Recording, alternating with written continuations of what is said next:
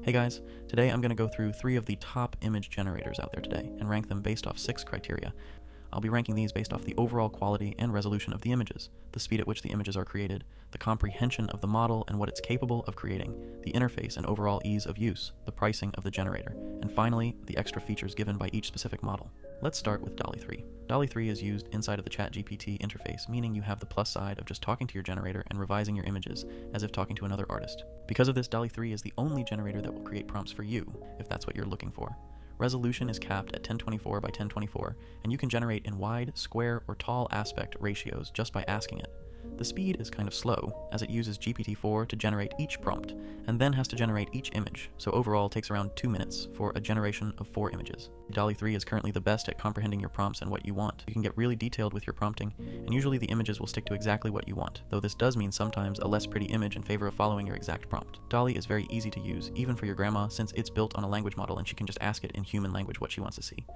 ChatGPT Plus, which is the plan you'll be paying for for DALL-E 3, costs 20 bucks a month currently. I believe there's a limit to how many images you can generate per hour, but I have yet to run into it. That's about it. No extra features or in-depth control with DALL-E, you get what you see. I will add, DALL-E 3 through ChatGPT is very locked down with its content policies. It blocks any type of public character or person, and refuses to generate when you ask it for those. There are ways around it, like by describing the character without naming them, but it is a hassle, and kinda puts walls around your creativity. Bing Image Creator, which is free and does use DALL-E 3, is much less locked down at the time being, but only generates square images and doesn't use GPT-4.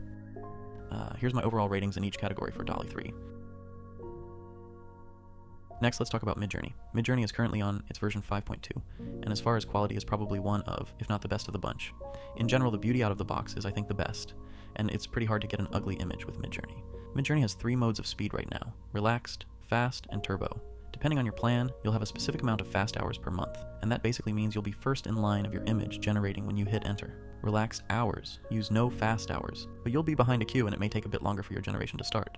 Once started though, both relaxed and fast hour generations will take around 45 seconds to a minute to generate.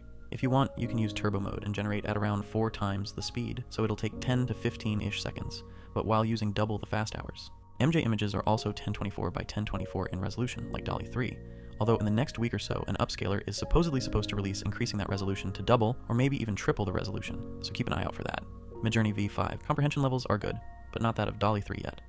Especially when prompting detailed, there will often be things it fully misses, or will mix two things together that you don't want. I'll be waiting for version 6 in the coming months though, which will hopefully be much better at comprehension and all other categories. Currently the interface of Midjourney is probably the most confusing of the three, as it's done in Discord, although not too bad. It does come with the plus of a close community with other Midjourney creators, which may or may not be a plus for you. In the next month or so, they will be releasing a web version with image creation, so that gripe will be taken care of soon. The basic plan, which is 10 bucks a month, comes with a limited 200 generations per month. The step up from that is 30 bucks a month for 15 fast hours a month and unlimited relaxed hour generations. There are multiple tiers above this, which are more for advanced users slash companies. MJ has multiple extra features and controllability compared to DALL-E 3.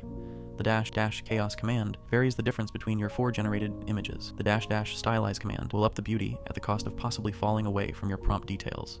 The dash dash weird command does what you expect, there is in-painting, out-painting, and panning through Discord interface.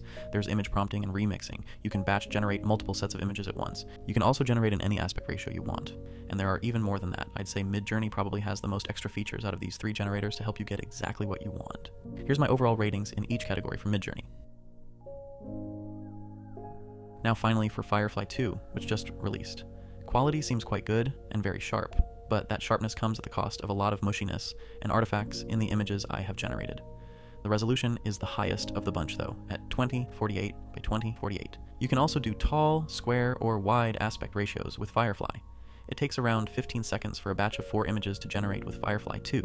Interface is, I would say, the best of the three. Super easy for someone new to image generation to understand. You have sliders and settings on the right for content type, style, effects, lighting, composition, and even photo specifications for photo-like images. The effects and content type is cool, but does seem like it's just adding keywords at the end of your prompt.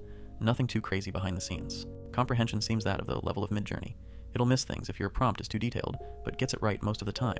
You can use 25 free monthly generations with Firefly, or pay 5 bucks a month for 100 generations per month, which in my mind isn't worth it.